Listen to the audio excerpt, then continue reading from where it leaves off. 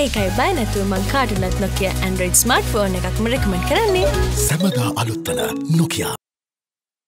පාස්කු ප්‍රහාරය පිළිබඳව විමර්ශනය කෙරෙන ජනාධිපති පරීක්ෂණ කොමිසම හමුවේ ඊයේ සාක්ෂි විමසනු ලැබුවේ කොල්ලුපිටිය රාජ්‍ය බැංකු ශාකාවක හිටපු කළමනාකාරවරියකගෙන්. නැගෙනහිර පළාත් හිටපු ආණ්ඩුකාර එම්එල්ඒම් හිස්බුල්ලා මහතා සභාපතිත්වයේ දරන හීරා පදනමට සහ පසුගිය සමයේ මහත් ආන්දෝලනයකට තුඩුදුන් නැගෙනහිර ශර්යා විශ්වවිද්‍යාලයට අයත් බැංකු ගිනුම් කිහිපයකට විදෙස් රටවලින් විශාල වශයෙන් ලැබී තිබූ මුදල් තැන්පතු සම්බන්ධයෙන් මෙහිදී විමසා බැලුවා. මෙම සාක්ෂි විමසන අවස්ථාවේ ඊට සවන්දීම සඳහා හිටපු ආණ්ඩුකාර එම්එල්ඒම් හිස්බුල්ලා මහතාද කොමිස කොමිසම වෙත පැමිණිය. සාක්ෂි ලබා දෙමින් සාක්ෂිකාරණය සඳහන් කළේ එක්දහස් නමසි අනුතුන වසරේ අටවන මස දහට වන දින ශ්‍රී ලංකා හිරාපදනම නමින් ජංගම බැංකු ගිනුමක් ආරම්භ කර ඇති බවයි. එම ගිනුමට විදේශයන්හි මුදල් සම්ප්‍රේෂණය වී ඇද්දැයි රජයේ ජේෂ්ඨ අධිනීතිඥවරිය සාක්ෂිකාරණයගෙන් ප්‍රශ්න කළා. ඊට පිළිතුරු දෙමින් ඇය සඳහන් කළේ එම ගිනුමට අවස්ථා පහළවකදී අමරිකානු ඩොල මිලියන දෙකට අධික මුදලක් ලැබී ඇති බවයි. එහි වටිනාකම ශ්‍රී ලංකා මුදලින් රුපියල් මිලියන තුන්සිය දහතුනකට අධිකයි. මෙම ගිනුමට අදාළව මිලියන එක්ම වූ ගනුදෙනු සිදුවී ඇති බව නිරීක්ෂ නිරීක්ෂණය කළ ජනාධිපති කොමිසමේ සභහපති විනිසුරුවරයා සාක්ෂිකාරණයගෙන් විමසුවේ මුදල් තැන්පතු රෙගුලාසි පනත ප්‍රකාරව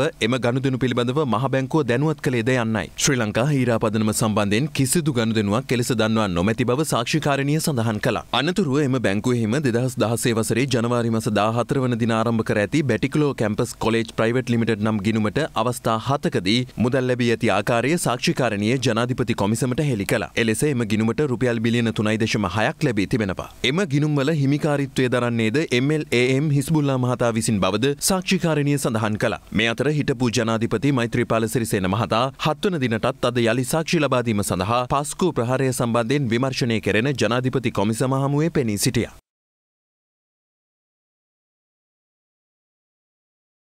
මේ වන විට හිටපු ජනාධිපතිවරයාගෙන් සාක්ෂි විමසීම සිදුවන බවයි අප වාර්තාකරු සඳහන් කළේ.